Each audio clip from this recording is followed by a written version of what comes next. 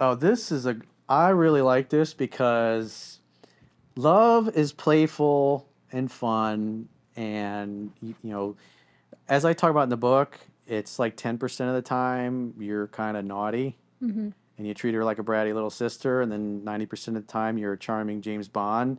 And so, what I love about this is like, it's fun, it's playful. It, it took some time for him to think about this and come up with this because he obviously cares about her. Because if he didn't give a shit, you're not going to go and come up with something like this just to try to make your girl laugh and fuck with her and troll her. And this is what's so fun about being in a relationship with somebody is you get to know each other and you do silly things like this. But this is what makes it exciting because so he's like, hey, you know, pick one of these two things, and obviously she picks one and looks at it, and she's like, oh, this is great. Mm-hmm. And then what you see what he does, what he does, it's funny. Oh. But at the end of the day, she probably fucked his brains out afterwards because oh. this is, you know, it's being totally indifferent.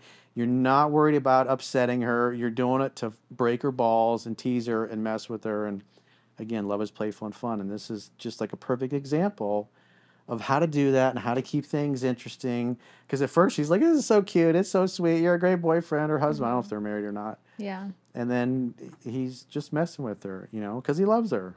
He's not being a dick, but it's it's just something fun to do. And if you had sisters, this is the kind of shit you're gonna do with your bratty little sister.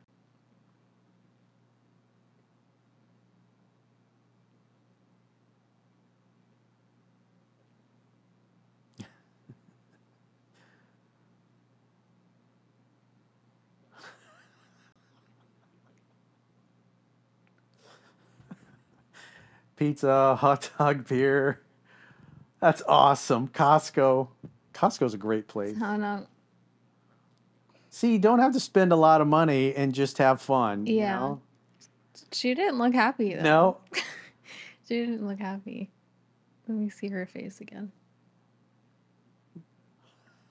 He didn't let her grab it either. But you could tell she's she's like he's fucking with me. I know it. There's there's something he's not telling me. This is not the first time he's done this. I hope he did take her to an actual dinner. That's awesome.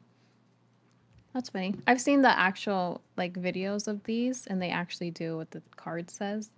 It's like, oh, shopping spree at Target or Starbucks, and he'll take her to Starbucks. It's like a whole day of treating her. It's cute. Yeah, that's fun. I like that. Yeah.